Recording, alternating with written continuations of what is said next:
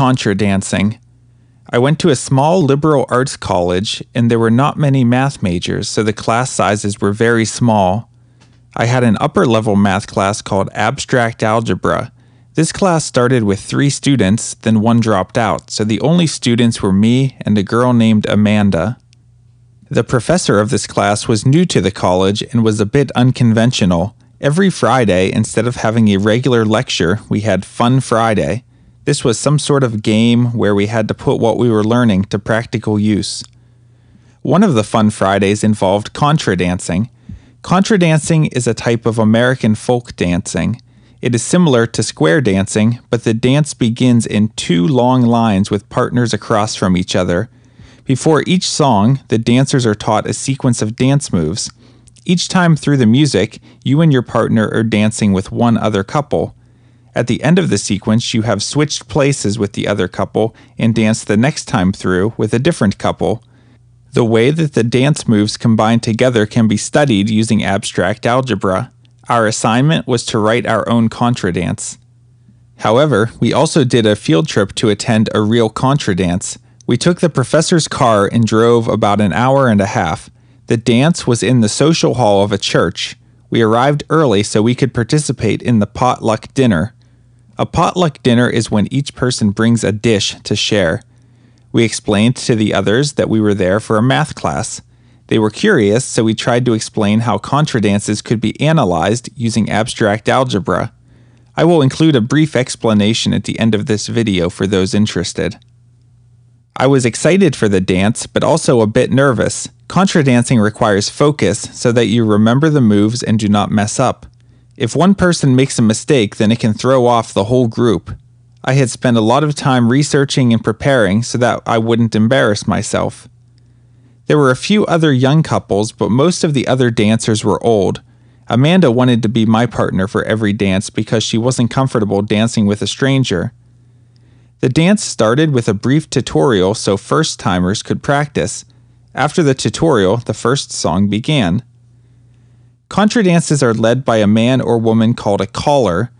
Our caller was a man who taught the dances and called out each move throughout the song to keep everyone on track. The music for contra dancing is a style of American folk music.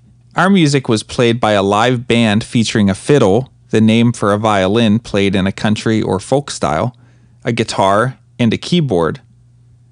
Of course, I made some minor mistakes at the beginning, but as the night went on, I got better and really enjoyed myself. I don't remember the exact number of songs, but the night followed this general pattern three contra dances, one waltz, an intermission, three contra dances, and a final waltz. It was late by the time we finished the dance and drove home.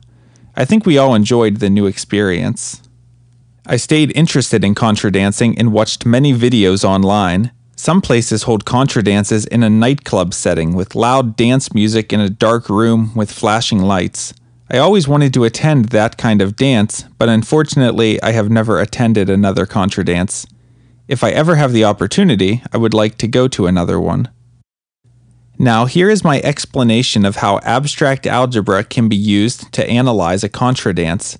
First of all, algebra is simple mathematics that involves adding, subtracting, multiplying, and dividing. In our early school years, we learned to do these operations using numbers. We learned that 2 plus 2 equals 4, and 6 divided by 2 equals 3. Abstract algebra means understanding these operations without using specific numbers, doing proofs to see what facts hold true in general.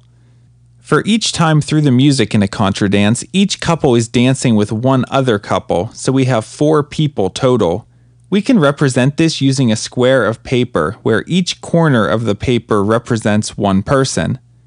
Think about what actions we could do to that square to have the corners change places. We could rotate the square clockwise one, two, or three positions. We could flip the paper over the vertical axis.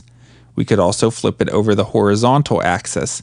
Finally, we can flip it over either of the two diagonal axes. Now, some sequences of operations are equal to other operations. For a simple example, rotating the square clockwise two positions, then rotating it again two more positions leaves us in the original starting position. If we flip the square over the horizontal axis, then rotate it two positions, then flip it over the vertical axis, we are also back at our starting position.